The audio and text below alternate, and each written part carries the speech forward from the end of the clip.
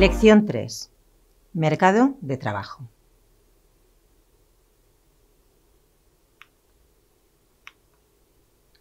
El mercado laboral está cambiando vertiginosamente. La evolución tecnológica y la automatización, la globalización y los cambios a nivel social, entre otros, conllevan amenazas y oportunidades. Muchos conocimientos y trabajos actuales se están quedando obsoletos, pero también emergen nuevas profesiones. La mayoría de estudios y expertos coinciden en que muchas ocupaciones actuales, las más mecánicas y menos cualificadas, desaparecerán en las próximas décadas debido a la automatización. También coinciden en que alrededor del 75% de las profesiones del futuro todavía no se han creado, la mayoría de ellas ligadas a los avances tecnológicos. Por ello, observa tu entorno y presta atención a las transformaciones del mercado laboral, a las nuevas oportunidades de empleo que están apareciendo y a las demandas y preferencias de las empresas. Así, es conveniente que busques información sobre el mercado de trabajo.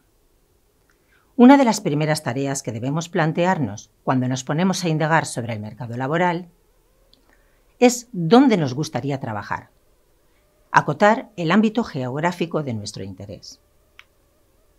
A continuación, buscar información actualizada sobre los intermediarios de empleo servicios públicos de empleo, empresas de trabajo temporal, consultoras de recursos humanos, agencias de colocación, portales de empleo genéricos o portales específicos según sector y profesión, son recursos que pueden ayudarte tanto en tu búsqueda de empleo como en tu desarrollo profesional posterior.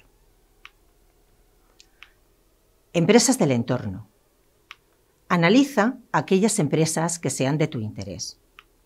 Su actividad, sector al, que pertenece, productos y servicios que ofrecen, tamaño, número de trabajadores, cultura, cómo contrata, qué canales utiliza.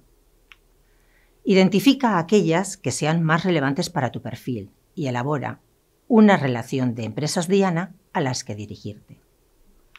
Por último, información diaria sobre las ofertas de empleo en el ámbito geográfico elegido, para conocer la demanda por parte de las empresas de la ocupación u ocupaciones que estás considerando.